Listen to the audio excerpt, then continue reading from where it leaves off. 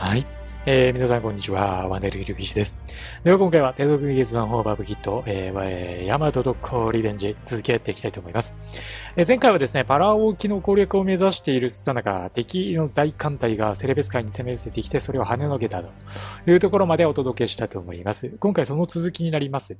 で、まずですね、えっと、その後、さらにセレベス海に敵の艦隊がやってきて、まあ、波状攻撃を食らっているという状態なんですけども、依然、えー、セレベス海、パラオキ、この辺りには敵の艦隊が集結していまして、えまず、あのー、アメリカ軍の第1艦隊、えこれが残っています。で、第7艦隊、第9艦隊は壊滅ですね。第13艦隊も壊滅。第14艦隊健在ということで、え敵はですね、主に3個艦隊残っているという状態です。ただこの3個艦隊って結構重要で、これ仮に6個艦隊入っていた場合、最大増援3個、つまり6個艦隊を撃破して敵の基地を制圧しなきゃいけないというかなり厳しい戦いになるんですが、敵3個艦隊のみであれば3個艦隊プラス敵基地攻撃で済むので、この機を逃さず一気にパラオキを攻略していきたいと思います。では早速、えー、パラオキ攻略戦始めていきましょう。投入する艦隊ですが、まず第1艦隊。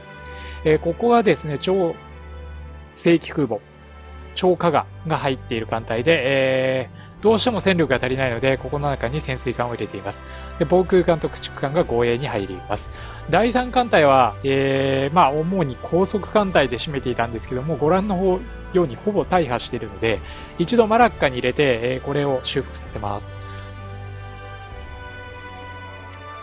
で、さらにレイテからですね、第15艦隊、これ潜水艦隊ですね。さらに第4艦隊、これ重武装従順。ちょっと数が足りないんですが、これを投入していきたいと思います。では早速時間を進めていきましょう。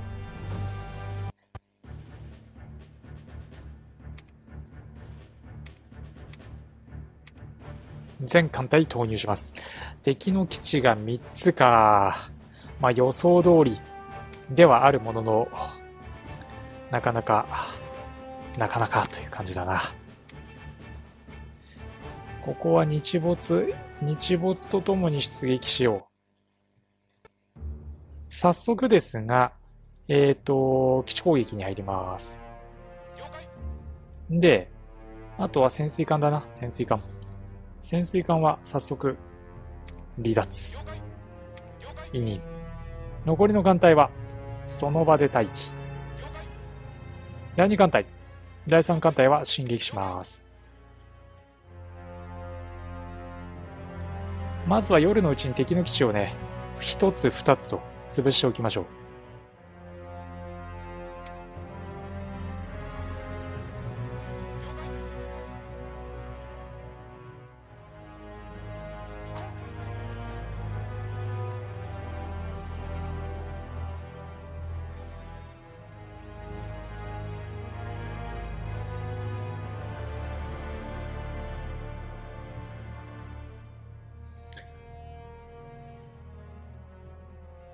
このパラオ沖が取れれば艦隊の集中運用、つまり、えっと、防衛のために艦隊を各所に配置する必要がなくなるという大きな戦略上の要衝になっているので、このパラオ沖はどうしても取りたいんですよね。爆撃機、攻撃機合わせて約60機。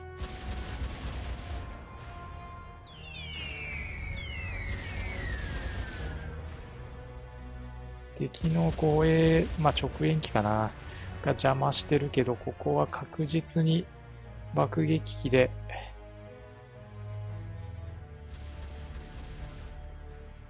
敵の基地破壊を進めておきたいけど、ちょっと時間かかりそうだね。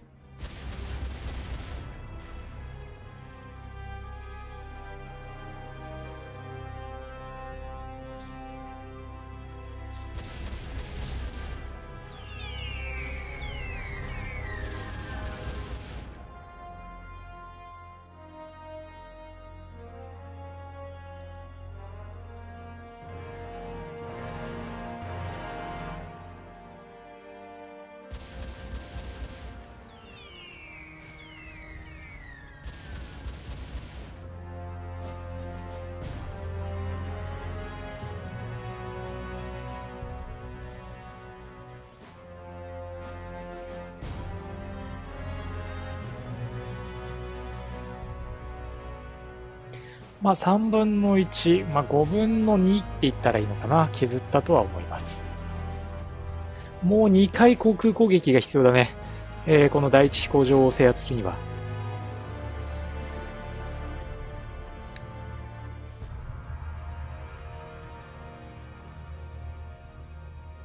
できるだけ機体のダメージは少なく、艦隊の消耗も少なく、勝利を掴んでおきたいので、慎重に戦いましょう。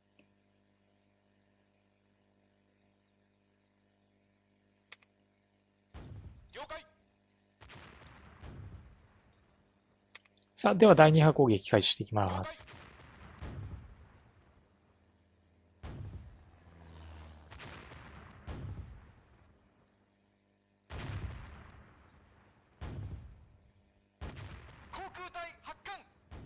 敵は護衛機は夜間出れるようですけど、爆撃隊、攻撃隊は夜間は離発着できなそうだね。出てこないところを見ると。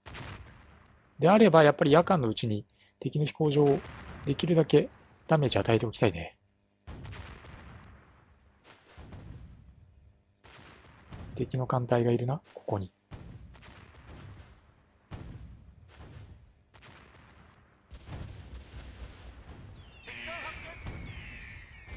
敵の空母もいる。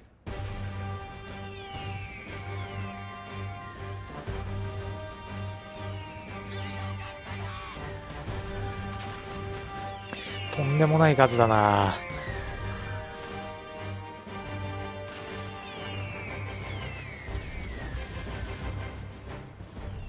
安全に、安全に確かに敵の飛行場1個潰してはいるけど、ここの数、えげつないぞ、ここの数。本当に。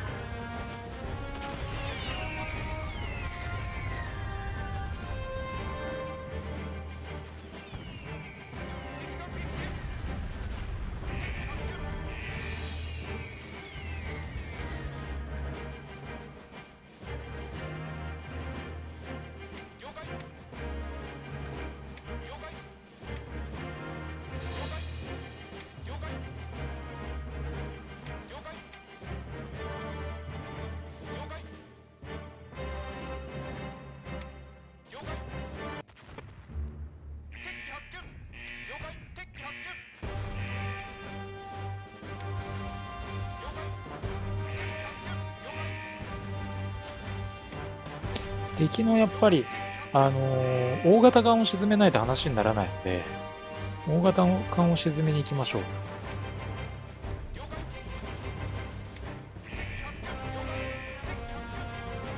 敵の飛行場もう一回航空攻撃が必要だね。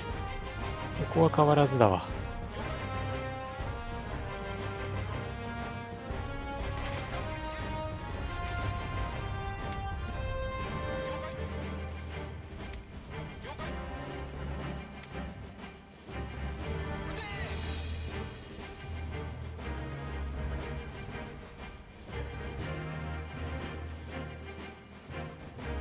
よし、これで基地を潰す。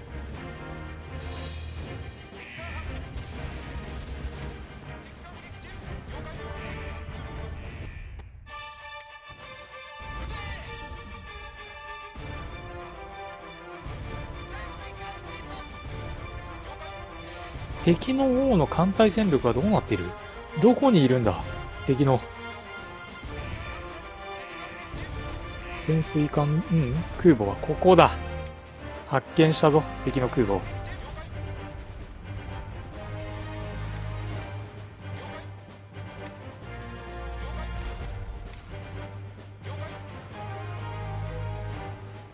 いや、この数だよ。この数相手だよ。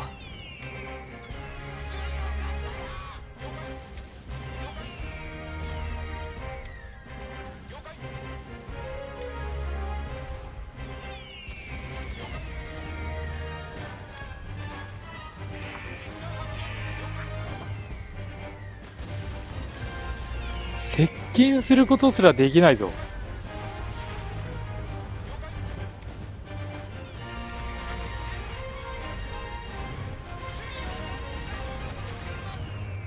いや、そうなるでしょう、これは。この この爆撃、この航空機の数だよ。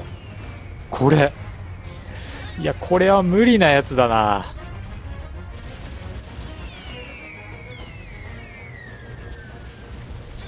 数が違いすぎる。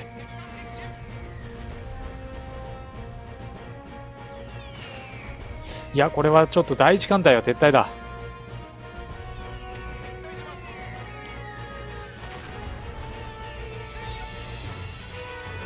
いや、思ってたよりもはるかに敵の戦力が充実している。これほどまでとは思わなかった。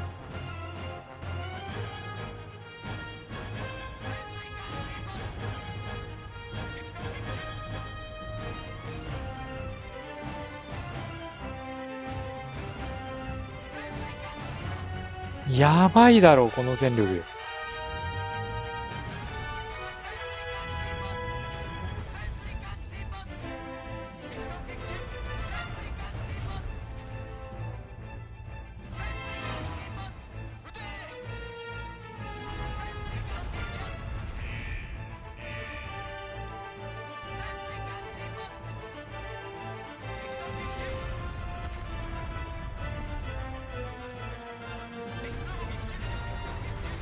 いや、敵の軍を仕留めたものはあるとはいえだ。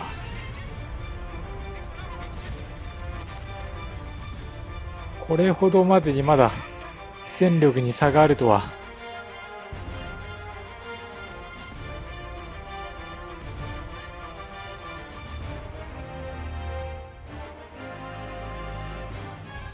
いや、一隻でも多くの潜水艦に逃げてもらうしかないな。まあ、敵の基地1個しか破壊できなかったし。まあでもやっぱり特攻型の潜水艦は足が速いですね。いや、大敗だな潜水艦の大半を失ったし、クルーザーも失ったし、まあ、航空戦力の消耗は避けられましたけどね。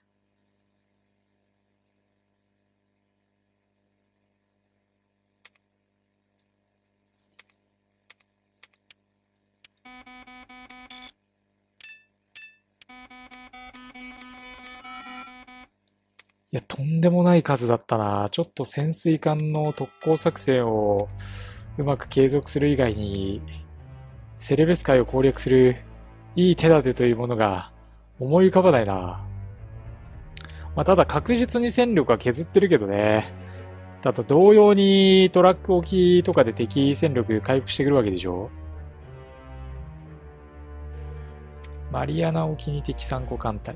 いや、ここは何としてもパラをご利用してでも取るべきだな。航空戦力。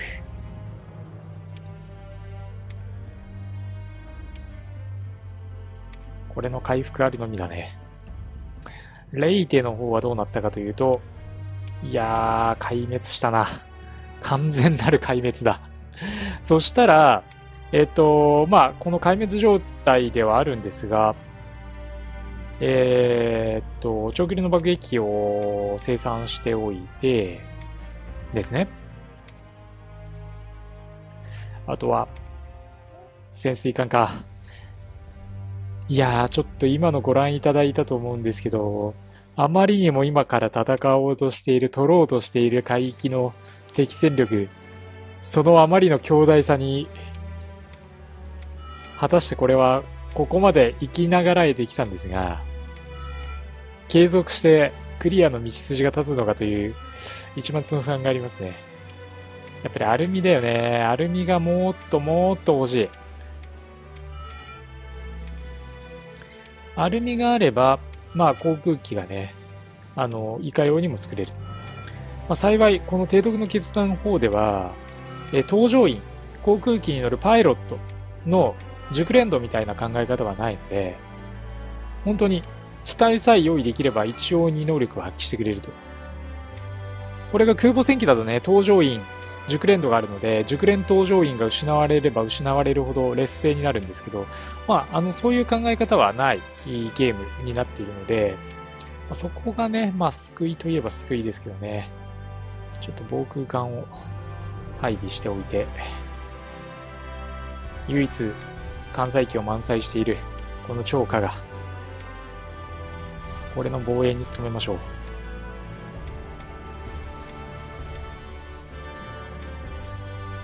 パラオ機うんどうするべきなんだろうな。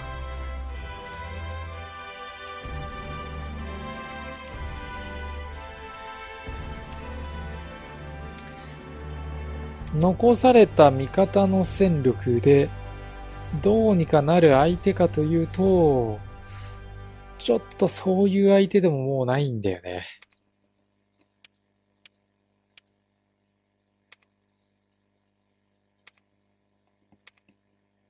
せめて駆逐艦、あ、超ヤマトが完成してるな。そうすると、第16艦隊で潜水艦、ドーンと。